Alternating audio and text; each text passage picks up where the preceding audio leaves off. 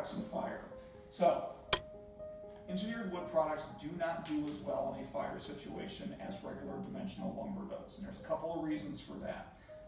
The open trusses and I-beams that we use now in terms of engineered lumber actually provide more voids and more surface area for fire to spread if it starts.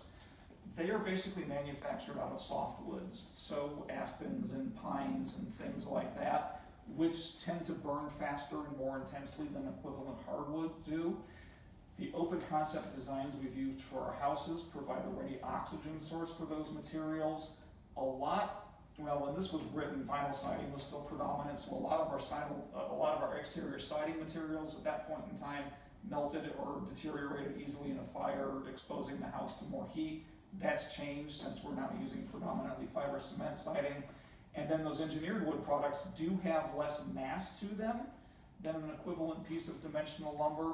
And because that mass is actually made out of softwood, they do burn faster and hotter, and they do fail quicker than equivalent dimensional lumber does. So there. Thanks for watching, and we'll see you in the next video.